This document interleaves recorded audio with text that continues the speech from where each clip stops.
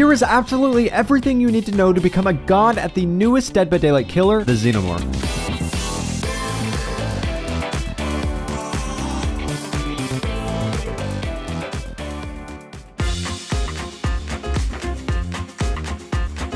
Xenomorph is a fictional endoparasitoid extraterrestrial terrestrial. Xenomorph is a fictional endoparasitoid extraterrestrial species that for some reason has a head shaped like a croissant. What the hell is that? I must admit, I haven't seen a single Alien movie, nor have I played any of the Alien games, so I'm to keep this section brief so I don't spread any misinformation. But from my research, it seems like this alien species has no other goal than to survive by any means necessary, including the elimination of anyone that poses a risk to them. I'm pretty sure they lay eggs that have facehuggers in them, which are these creatures that'll latch onto a host and impregnate them with an alien embryo. Fun fact, you can see one of these facehuggers on the new alien map in this window.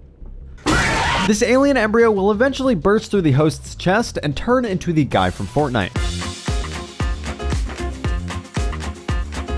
Before I teach you how to play Xeno, I need to show you something. More than 80 million downloads, almost a perfect rating from 400,000 reviews on the iOS App Store alone. Raid Shadow Legends, a free-to-play action RPG with extensive PvE and PvP gameplay. Raid is genuinely the most detailed mobile game that I have seen. The graphics and amount of stuff you can do is really impressive for something that runs on your phone. My favorite part about Raid was just looking through all of the characters. There are over 700 completely unique characters with different abilities. I'll show you a few of my personal favorites on on screen now. I'm just saying, whoever the character designers are, they should get a raise because these are insanely cool. You can use these characters to fight enemies, including many bosses like the Hydra boss that has different types of heads with unique attacks. For example, the Head of Suffering can take some of the damage you attack it with and send it right back to you. The Head of Decay will make your team lose maximum health every time you heal, and the Head of Mischief can steal any buffs that you have on your fully buffed up champion and give it to the other heads. If you want to make this fight easier, you can get a free legendary champion by logging into Raid on seven different days between now and October 23rd. If you're a completely new player, I have some free loot for you. Use the promo skin JT Skin in-game before October 7th to unlock one of the best epic champions, the Stag Knight, as well as a skin for him. You can also get a completely free starter pack with this awesome loot if you click on the link in the description or scan the QR code on screen. Thank you to Raid Shadow Legends for sponsoring this video.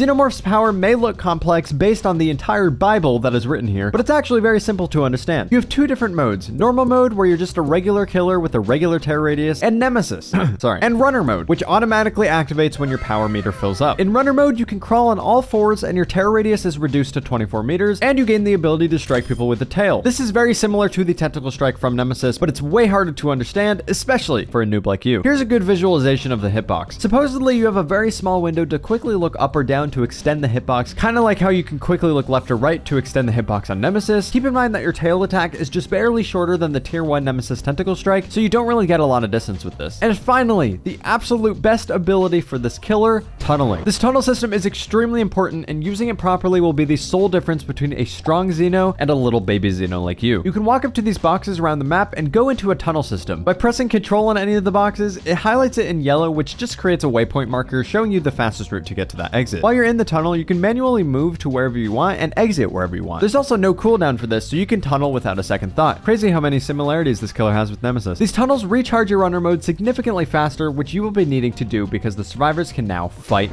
back. You heard me. Remember those boxes from earlier? Well, these contain literal flame turrets that'll burn you if you get too close to them. As they burn you, your power meter will fill up with red, and if it fills up all the way, it'll kick you out of runner mode. But luckily for you, you won't have to hear California Girls after you get knocked out of your power.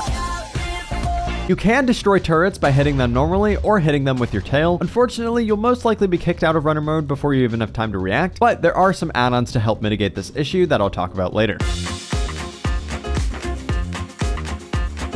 The Xenomorph can be a powerful killer in the right hands, but he doesn't have enough strengths to compete with top tier killers like Nurse and Blade. However, you need to take advantage of these strengths to do well with this killer. Traversability. Since you can teleport around the map wherever you want, it's very easy to keep up map pressure and patrol gens or other objectives. Stealth. Although not incredible, you do technically have some built-in stealth since your terror radius gets reduced and you get low to the ground while in runner mode. If you pair this with stealth perks, you might be able to catch some survivors off guard. Sounds. One of the best part of your teleporting ability is the fact that you can hear things that are happening above ground. You can go to to different generators and hear which ones are being worked on while the survivors have no idea that you're there, and it's a great way to understand where you may need to patrol when above ground. Anti-loop. Although not amazing by any means, your tail attack can still hit survivors from much further away and can hit them through pallets or windows. Once you get used to the jank, you'll be able to shut down many small loops. Exit gates. Your tunnels make it very easy to patrol exit gates that may be far away, making it very difficult for the last survivor to escape. Footsteps. When you're in your tunnels, you can see the survivor's footsteps if you're underneath them. Hatch. You might be able to hear the hatch while you're in your tunnels, but I haven't confirmed if this is true yet. Perks synergies. There are many perks that pair really well with this killer. Here are a few that I think are pretty solid. Discordance. Since tunnels usually exit near generators, barbecue and chili. To get info on where you should teleport after hooking a survivor. Bamboozle. Since he's somewhat weak in chase, and since there's an add-on that increases his vault speed while in runner mode. Dragon's Grip. Because you can trap a gen and then sit in the tunnel directly underneath it. Enduring. To help you in chases. Fear Fury. If you're using Enduring. Fearmonger. To prevent survivors from running away when you teleport to their gen. Gearhead. For info on where you should teleport. Hex Plaything and Hex Pentimento because you can teleport to broken totems very quickly to activate Pentimento. Jolt because you'll probably be near progress generators a lot since you can teleport to them. Lethal Pursuer since you can start a chase almost immediately when the game starts because of your tunnels. Make your choice because you can return to the hook very easily to take advantage of the exposed survivor. Merciless Storm to force them off gens with your teleport. Tinkerer for infos on the gens to teleport to. Monitor and Abuse to make your runner mode have a 16 meter terror radius. No Way Out since you can take advantage of the notification when they touch the door because of your teleport ability. Pop Goes the Weasel since you can get to highly progressed gens quickly. Scourge Floods of Rage to keep up your quick map pressure. Surveillance for the same reason. Boiling Tremors for the same reason. And Trail of Torment because you can activate stealth almost whenever you want and then appear on the complete opposite side of the map from where you just kicked a gen.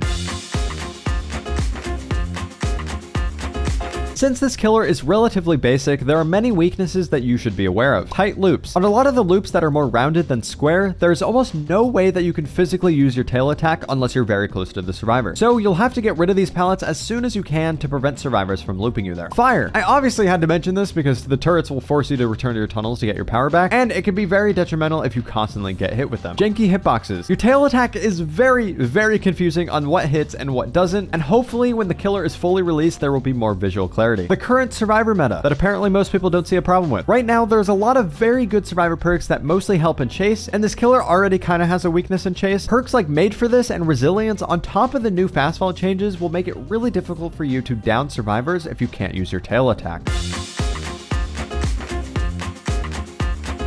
Unlike his counterpart, Xenomorph's add-ons have a surprising amount of unique utility that can fit a ton of different playstyles. Here are a few that I think will be strong or fun to use. My favorite add-on is Self-Destruct Bolt, which increases vaulting speed by 30% when in runner mode. This add-on is unbelievably fun to pair with Bamboozle, Superior Anatomy, and Fire Up to get up to a 99% faster vault speed. This means that you can vault over a window in an eighth of a second. It's insane. His best iri add-on is called Acidic Blood. If a survivor stuns you within 20 seconds after you exit a tunnel, it'll injure them, and if they're already injured, they'll become deep wounded. Since you should be teleporting and pressuring gens a lot, you'll be able to get a ton of value out of this add-on, especially if you pair it with the next add-on, Parker's Headband, which grants you a 5% haste for 3 seconds when exiting a tunnel. Improvised Cattle Prod isn't as good as his other Iri, but it can still be somewhat useful. Whenever a gen is complete, this add-on activates for 15 seconds. Any survivors that get within 10 meters of your tunnels will have their auras revealed for an entire 15 seconds, which is quite a long time. Harpoon Gun can be a great information tool to keep consistent map pressure. If you hit a survivor within 10 seconds of exiting a tunnel, all survivors further than 24 meters away from you will scream. Again, pair this with Parker's headband to help you secure that hit. Kane's helmet. Survivors that hit you with their tail become mangled, which is good for some additional slowdown. Most of his yellow and brown add-ons affect turrets and are unironically some of his best add-ons. Emergency helmet increases the resistance to staggering by turrets, which is extremely good because it gives you more time to break the turret before it, well, breaks you. Lambert's star map decreases the flame distance of turrets by 2 meters, so it has a similar effect to giving you more time to see the turret before you get kicked out of your power. If you pair both of these add-ons together, turrets will probably feel like an afterthought. Then he has a couple of good brown add-ons like Ripley's Watch, which destroys any turret that removes you from runner mode, and Ovomorph, which recharges your runner mode 25% faster when outside of a tunnel.